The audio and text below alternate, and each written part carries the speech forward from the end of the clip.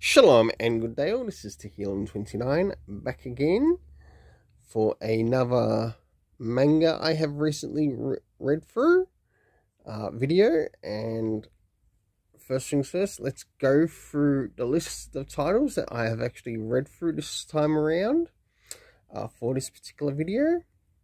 And I've read these between um, last month and this month, uh, to which this month is moving on to May, so April into May.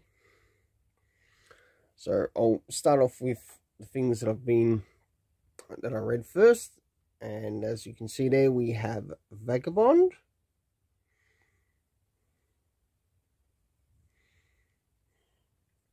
Then we have Vinland Saga. We have Blue Lock, Volume 5, Tokyo Revengers,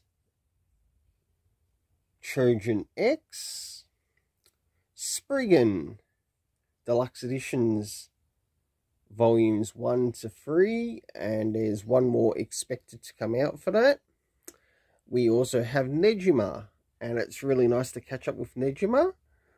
Um, the omnibuses, so two and three. I do have more of these to read, and I'm looking forward to that. And yeah, okay, we've got a bit of a graphic novel in here, which will get a review, but it's the only graphic novel in this list.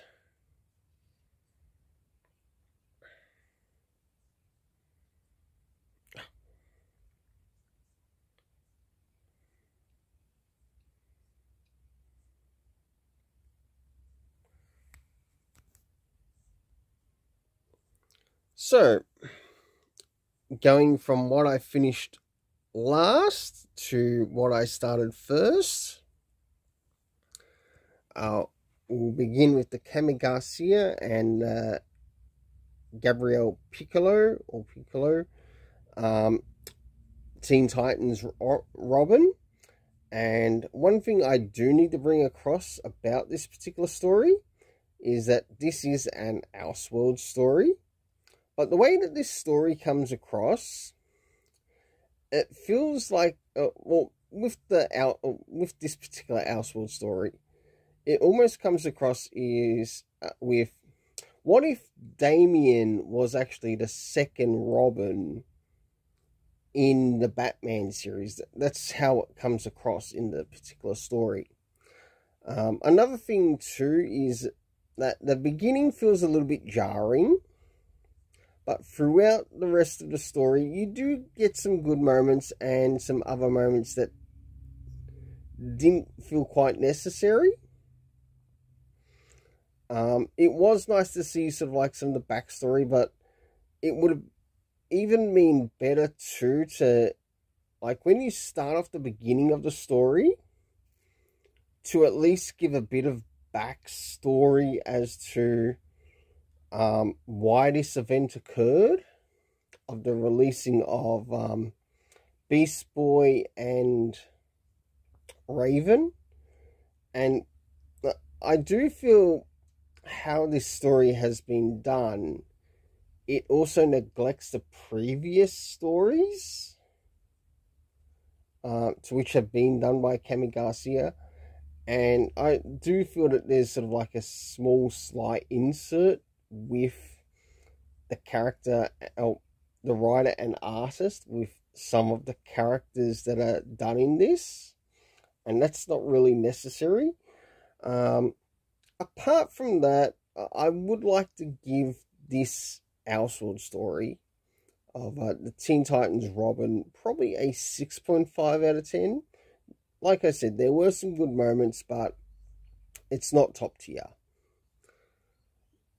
but at least good try anyway. Um,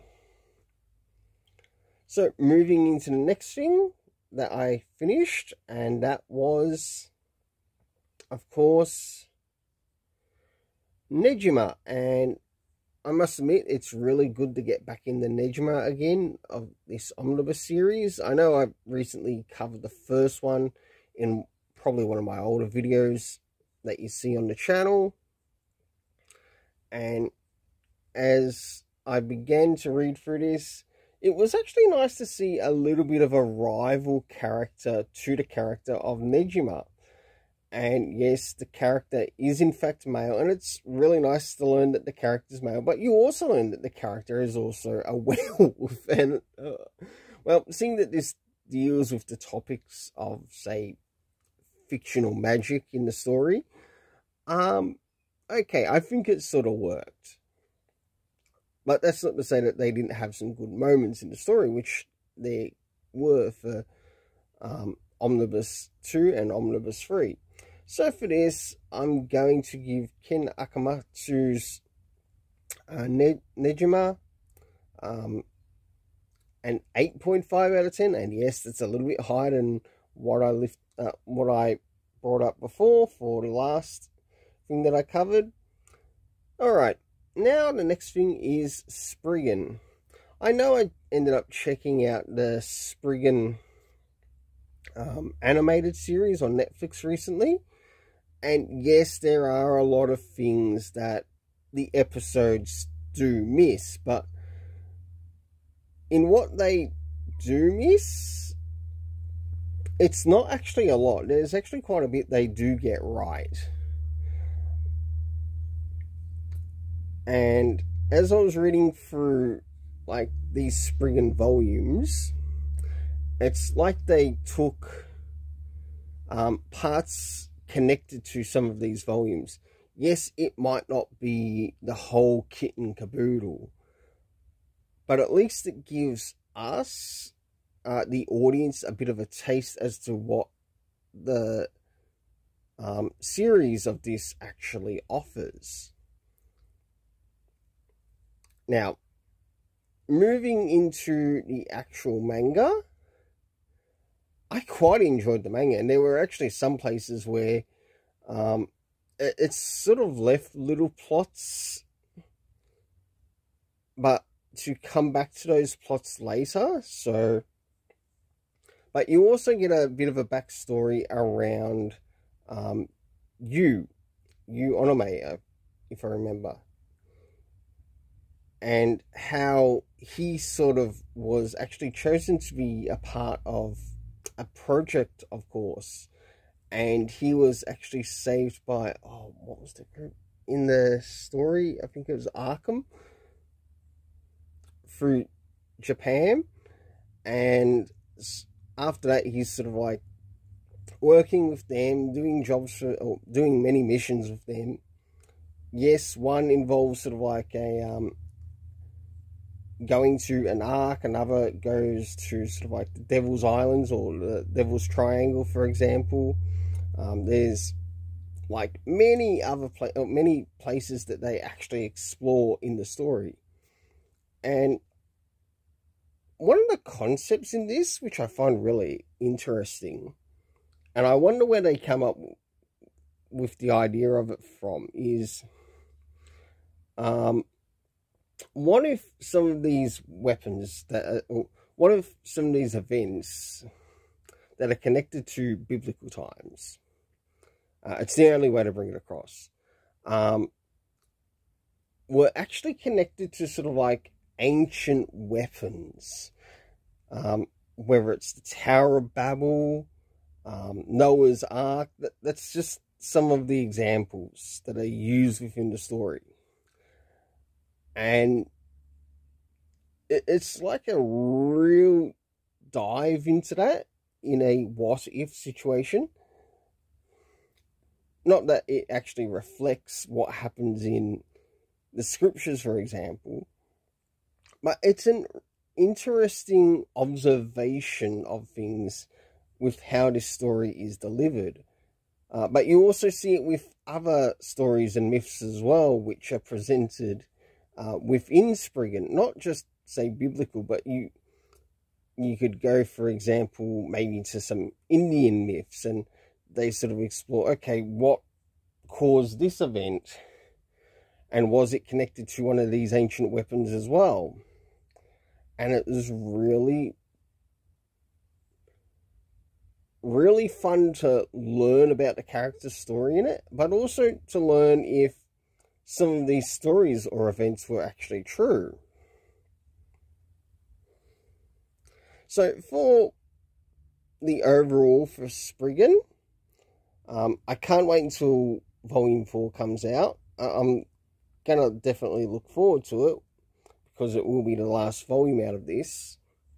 And hopefully by then Netflix will actually put out maybe another season or two of Spriggan, but also covering more of the stories that are in Spriggan.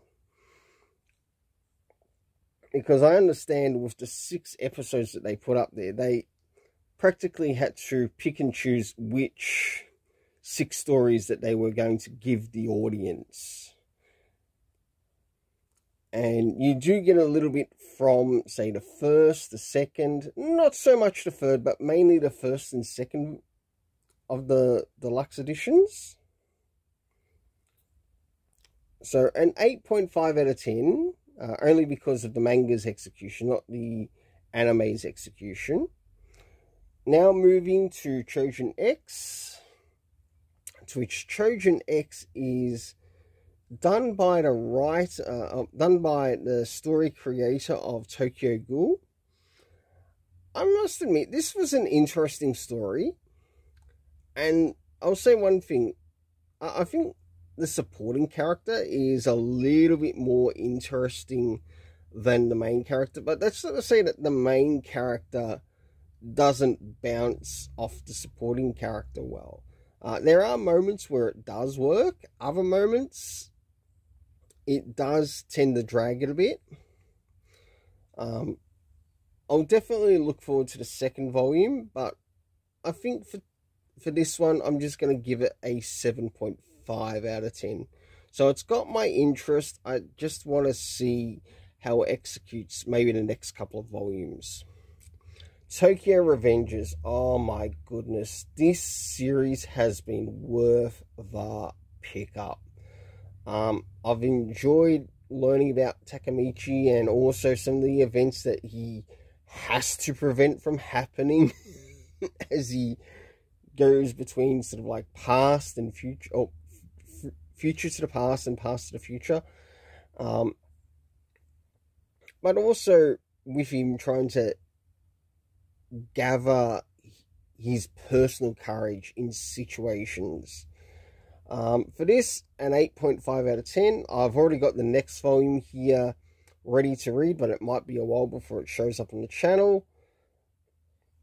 So, yes, 8.5 out of 10.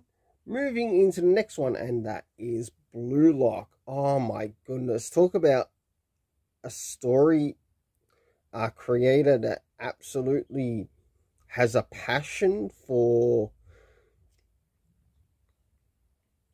soccer.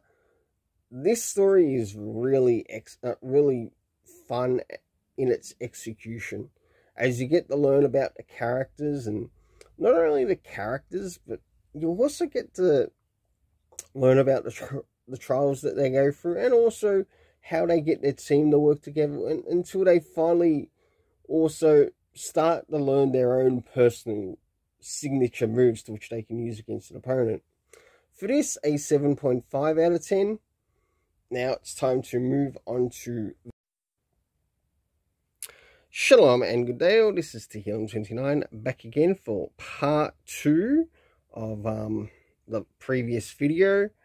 And of course, with the previous video of um, manga I've recently read through. I didn't get to finish um, the last two couple of chapters, uh, to which in this, uh, or the last two couple of part, or the last couple of manga, uh, being Vinland Saga. Uh, as I feel that this story is drawing close to an end, uh, I give it a 9 out of 10. Moving in the last but not least, Vagabond as Vagabond here centers around the character of Miyamoto Musashi and in this uh, this is sort of like his uh, training arc whilst farming but also other things as well. Uh, for this I am going to give it an 8 out of 10. Until then, let's keep it colourful and have yourself an awesome day.